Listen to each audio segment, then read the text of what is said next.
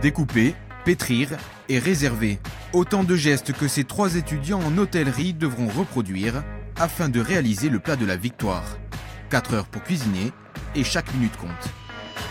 Euh, ça va, ça va. Je me suis entraîné hier, donc euh, on essaye de réappliquer ce que, ce que j'ai vu hier. Et après, on verra. hein. Mais bon, c'est un peu serré, mais ça va. Surtout, c'est le temps qui, qui joue un peu euh, de ces tours. Mais bon, ça va.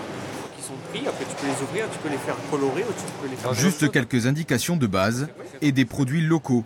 Pour le reste, ces jeunes cuisiniers doivent laisser parler leur créativité. Il faudra faire tourner les artichauts. Tournés. Alors, Difficulté supplémentaire, un commis surprise leur est imposé, qui n'est autre que le producteur des matières premières sur le plan de travail. Voilà, jusqu'au jusqu'au blanc. Et après, tourner un artichaut, bon, ça c'est un peu mon, mon point faible, on va dire. Donc bon, on va essayer d'appliquer ce qu'on a vu en cours, les techniques du geste, et euh, c'est pas, c'est pas mon fort. Quoi. Se surpasser tout en maîtrisant le stress, des qualités essentielles pour la profession. Au début, j'étais stressée, mais là, ça va. Et euh, j'essaye de faire mon mieux. Et si je réussis pas, ben, c'est pas grave, mais c'est une belle expérience.